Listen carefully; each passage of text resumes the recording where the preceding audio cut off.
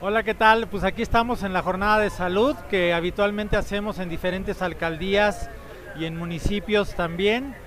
Lo que hacemos es ayudar a la gente con, con más escasos recursos para darles atención en salud.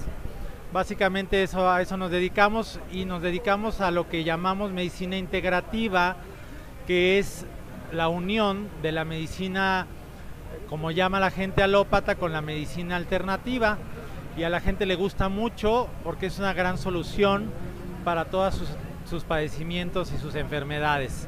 Entonces, como siempre, pues este, nuevamente estamos en esta ocasión en la, en la alcaldía de Coyoacán ayudando a la gente. Eh, te invito a que participes con nosotros en las siguientes jornadas. Muchas gracias.